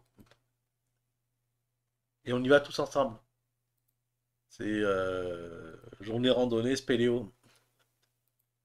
Ils ont venu faire la randonnée régulièrement, puis on va faire de la spéléo. Toi, tu vas les copains en disant, bah, c'est bien, on est bien là. Bah ouais, c'est une bonne journée. On fait de l'acrobranche, de la randonnée, de la spéléo. Et la spéléo, bah, tardivement, tu vas arriver là, faire de la spéléo. Ah, il n'y a pas de soleil. C'est pas Renfield. Si on prend un scénario de Skinwalker, allez au hasard. Tu prends un scénario de Skinwalker et tu vas faire de la chasse. Hein? On te dit on va faire de la chasse. Il y a des coins, des coins aux, États-Unis où tu pars faire de la chasse. Ou en France. Peu importe. En Transylvanie.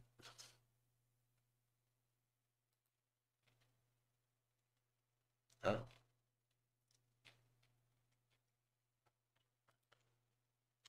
Ou un safari américain.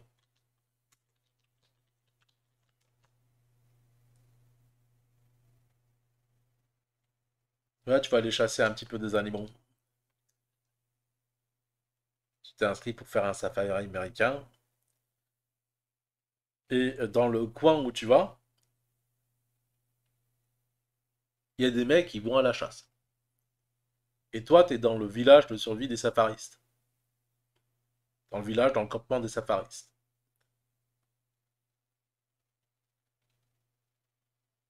Hein? Il y a un accident, ils ont cru qu'il y avait un animal, ils ont shooté un gars.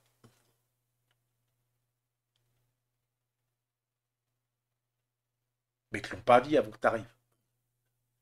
Il y a la police qui débarque.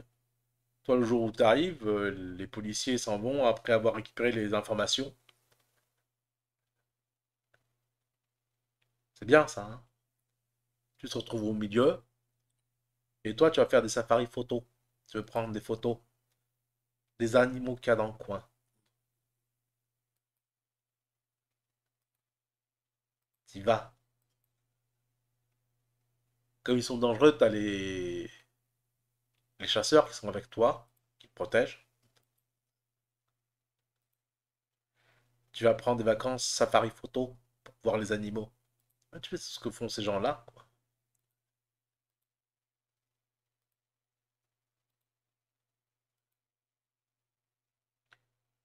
Le corps est euh, identifié et ramené au sien. C'est un gars du coin que vous avez shooté.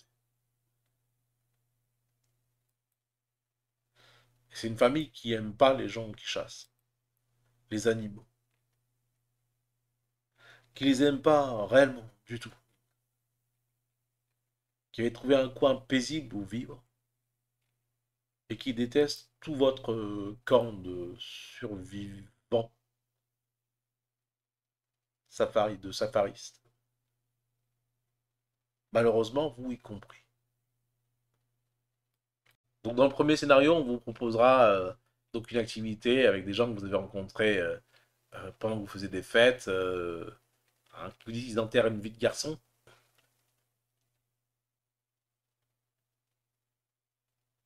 et une vie de jeune fille en même temps.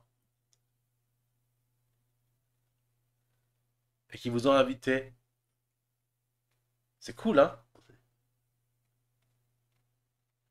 Ils vont vous proposer le choix entre faire de l'aquabranche, de, de la spéléo. Vous pourrez toujours tout faire ça, euh, tout un week-end entier. De l'aquabranche, de la spéléo, du rafting. la visite des grottes euh, et des peintures rupestres du coin.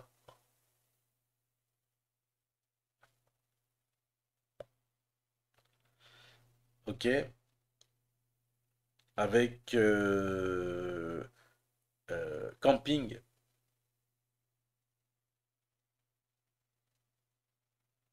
Dans une réserve naturelle protégée. Au milieu de la nature, pour redécouvrir ensemble la nature.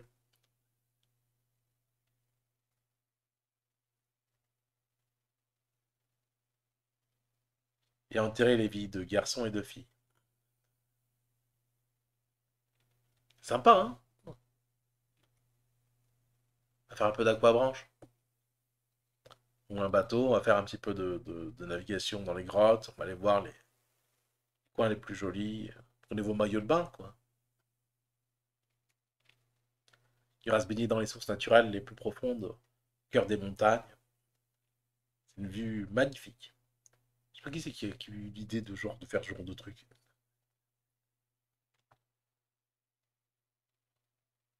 C'est un coin euh, peu connu de la Transylvanie.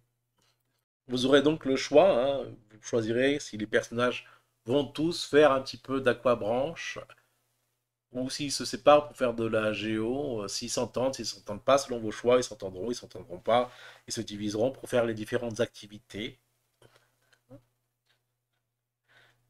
Peut-être passer la première nuit tranquillement ensemble à raconter des, des histoires d'horreur à veiller. Et ça va peut-être les amener à se disputer, à plus s'entendre, euh, à euh, faire en sorte que les filles préfèrent être avec les filles, les garçons avec les garçons.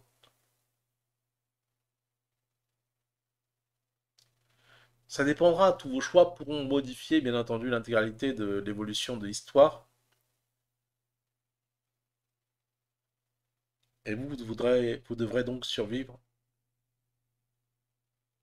à la nuit qui suivra. Dans le scénario des safaristes, bien entendu, euh, vous allez passer euh, un premier temps à essayer d'enquêter sur savoir ce qui s'est réellement passé sur euh, l'accident de chasse, qui fait qu'un être humain s'est fait tirer dessus. Puis, vous irez faire vos photos dans la journée, il n'y a pas de souci là-dessus. Hein, selon comment ça s'est passé, vous vous entendrez plus ou moins avec les chasseurs. Peut-être euh, sympathique avec eux. Vous passerez la première veillée. Il faudra survivre évidemment à la nuit. Alors je vous dis au départ, ces types de jeux-là, je comptais moi faire un site internet vous pouviez télécharger les scénarios les uns après les autres.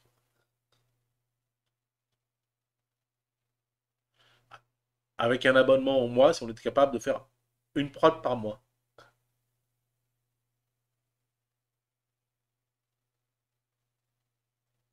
Ok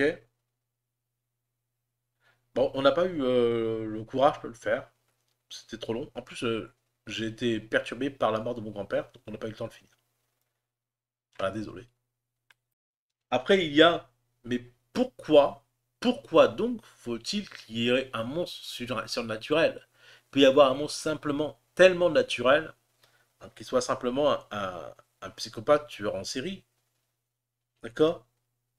Donc par exemple, vous serez invité euh, dans un euh, château.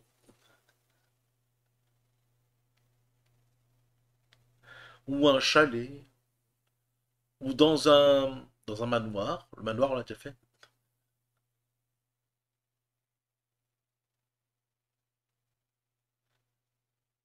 Dans un hôtel. Ou un festival qui se passe au milieu du désert. Comme euh, The Burning Man. Mais en attendant, vous vous déplacez jusque-là et vous êtes invité, en attendant que le lendemain la voiture vienne vous chercher, à passer la nuit dans l'hôtel pour vous rendre au Burning Man, le festival le, plus sympathique des États-Unis.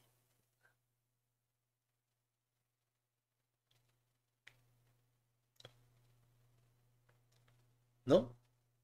Vous y êtes invité. Tout a été fait pour vous accueillir. Vous avez préparé pendant des mois votre euh, caravane et puis le, euh, enfin, vos déguisements, vos tenues, la voiture, elle vient vous chercher le lendemain à peine à l'hôtel. Ah, de toute façon, il faut un véhicule qui est capable de traverser le désert. Donc vous passerez la nuit à l'hôtel. Ça fait des mois que vous vous connaissez, vous faites les soirées tous ensemble. L'un qui a enfin décidé hein, euh, qu'il euh, mettait les bouchées doubles et les moyens pour vous accueillir. Vous passerez tous la nuit à l'hôtel qui a choisi pour vous, non? Ensuite, il y a les dresseurs d'animaux.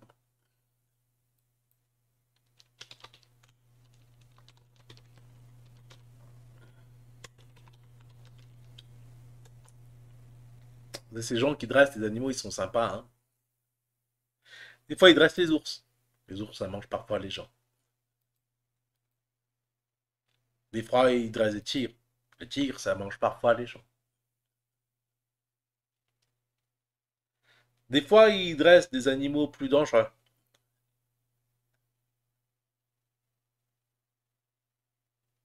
Et vous, ils vous proposent un séjour gratuit dans un zoo privé. C'est sympa, hein? Voilà, pour voir des animaux qu'aucun autre zoo au monde ne peut avoir. Vous serez installé, vous avez été choisi par une personne qui trouve que vous méritez bien le séjour qui va vous être offert. C'est cool, hein? Le problème, c'est vous êtes chez quelqu'un qui ne supporte pas qu'on mange de la viande. Et euh, vous êtes venu avec vos sandwichs, vos repas, vos animaux morts à manger. Si l'homme se nourrit des animaux, il n'y a pas de raison qu'il ne nourrisse pas les animaux d'hommes. Le problème est, vous pensez que vous êtes tous des visiteurs. À votre avis, est-ce que c'est seulement vrai? Oh, bien entendu, vous allez me dire, mais pourquoi est-ce que le gars qui nous amènerait dans l'hôtel là, euh, pour vous amener euh, dans le festival du désert, il vous coincerait dans un hôtel? Pour la nuit? Ah bah parce qu'il faut bien manger. Hein. Ouais, c'est un festival, les gens vont dans le désert, parfois ils y vont pour mourir, ils disparaissent, ils reviennent jamais. Il n'y a réellement pas d'enquête sur les gens qui vont, euh, par exemple, au Burning Man et qui pourraient disparaître. Ok Et euh, si on a un grand congélateur et qu'on a très faim, on peut conserver la viande longtemps. Donc je résume les scénarios. Le scénario Sky, Skinwalker. Ces êtres qui se transforment en animaux. Vous êtes safariste. Vous faites des safaris. Photos. Vous prenez des photos avec les animaux. Des photos des rhinocéros, des lions. Vous avez prévu un super voyage avec vos copains. Vous avez des merveilleux appareils photo. Sympathique, hein?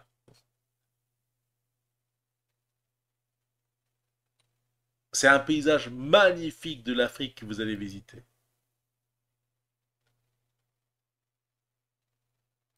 C'est d'ailleurs votre premier voyage en dehors de votre continent. Vous aimez la nature plus que tout. Vous arrivez dans un endroit où on vous dit attention, on a quand même des armes pour se protéger, et la police est en train de quitter les lieux avec l'ambulance et un corps, et on vous dit qu'il y a eu un accident, et le corps part. Vous allez enquêter sur le premier mort qu'il y a, vous allez vous poser la question, mais qu'est-ce qui s'est passé? C'est un accident, il y a il y a eu une erreur des, protecteurs armés, là. Ils ont tiré sur euh, ce qu'ils croyaient être un animal. Et c'était un être humain.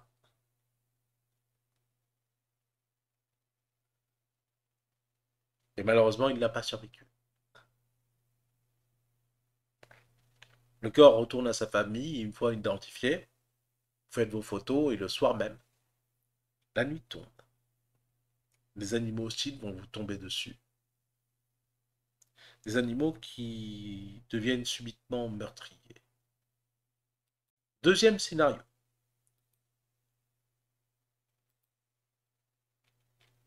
On a fini avec euh, les térianthropies.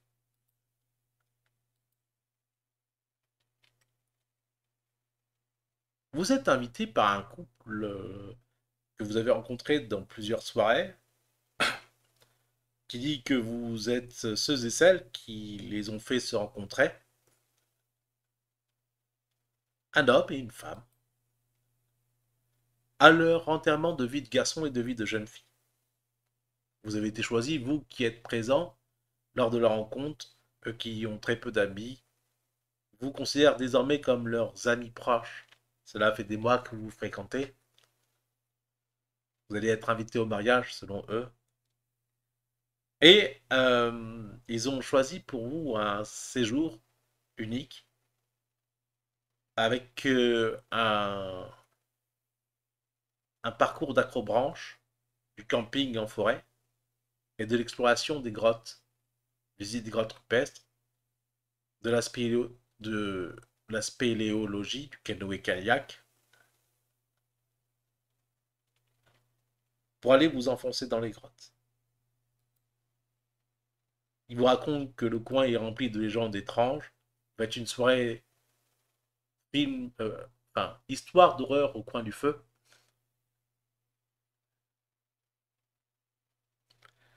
Et vous allez découvrir avec effroi qu'en réalité, ce sont des êtres étranges qui mangent énormément d'insectes quand on ne les regarde pas. Ils ont été ravis que vous ayez une passion pour les histoires d'horreur et ils vous promettent que si vous venez faire l'exploration des grottes avec eux, vous ne le regretterez pas parce qu'ils vous révéleront un secret sur les lieux et vous présenteront ce qu'il y a de plus cher à leurs yeux. Troisième scénario, vous avez été invité dans un hôtel au milieu du désert avant de vous rendre à un festival appelé le Burning Man aux États-Unis. Un hôtel, un hôtel unique au monde, au milieu du désert, qui va vous permettre de vous rendre au Burning Man, le festival américain où tout est possible, où toute liberté est acquise, qui se passe au milieu du désert. Avant de vous y rendre, un de vos euh, amis communs vous propose de venir vous installer dans un hôtel au milieu du désert. Malheureusement, une tempête de sable s'est levée, vous êtes coincé, le lendemain, un camion devait venir vous chercher avec l'intégralité de votre matériel de camping au milieu du désert pour passer une semaine de fête au Burning Man. Au milieu du désert. Or, la tempête de sable s'est levée et il est impossible de rouler. Vous allez devoir passer la nuit dans cet hôtel. Et vous allez découvrir que votre ami commun a des tendances alimentaires qui ne sont pas communes. Et que le garde-manger, petit à petit, n'est constitué que d'une viande d'un goût exquis, mais d'une origine fort douteuse, parce qu'il n'y a jamais eu de bétail dans le coin. Quatrième scénario. Vous avez été invité dans une réserve naturelle par un dresseur d'animal très sympathique qui vous propose de visiter un zoo privé.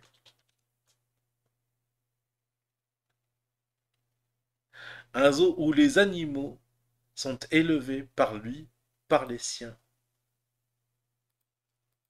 un zoo extraordinaire où tous les animaux du monde ont leur place. Vous êtes invité et euh, vous pouvez vous déplacer sur place pour découvrir une merveilleuse réserve naturelle. Là, on vous apprendra que on ne peut pas manger d'animal parce que sinon l'animal aussi peut vous manger.